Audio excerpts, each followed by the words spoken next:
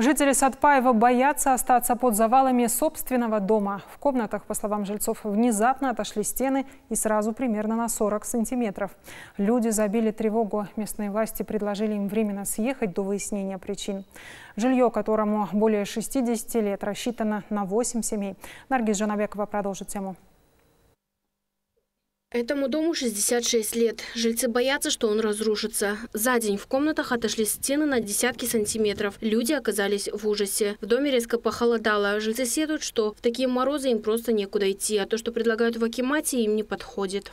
Мы в одну секунду лишились э, всей ну, жилплощади. Это чрезвычайная ситуация техногенного характера случилась в четверг. Все службы здесь были, но до сих пор четвертые сутки пошли, никаких мер не принимается. Э, на улице стоят морозы. Нам не решили вопрос с жильем. У нас на руках пятимесячный ребенок грудной, инвалид первой группы, который сам себя обслуживать не может. Нас шесть человек, э, это, и нам предоставляют две панцирные койки на шесть человек.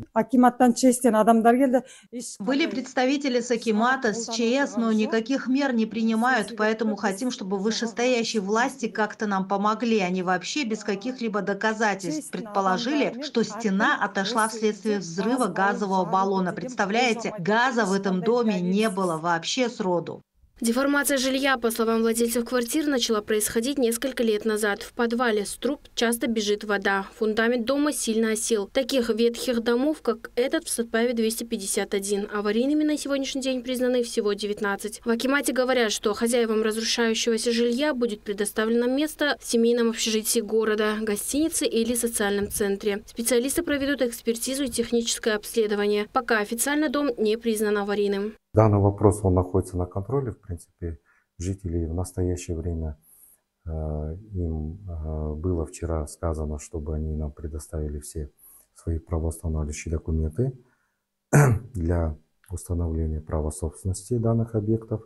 Кроме этого, в настоящее время уже будет нами проводиться техническое обследование по состоянию данного дома. Представители Акимата утверждают, что не оставят людей в таком положении. До конца недели обещают поселить все семьи во временное жилье. Наргиз Жанабекова, Информбюро, область Улытау.